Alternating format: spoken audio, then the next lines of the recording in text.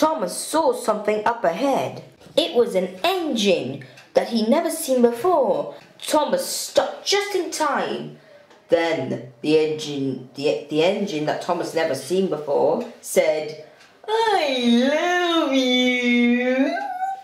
Thomas shot back as fast as he could. He wanted to get away from this crazy engine. But Thomas crashed into Arry.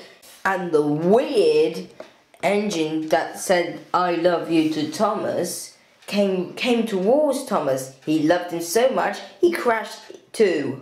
The Fat Controller never answered the tele telephone since he was at the water fountain drinking all the water.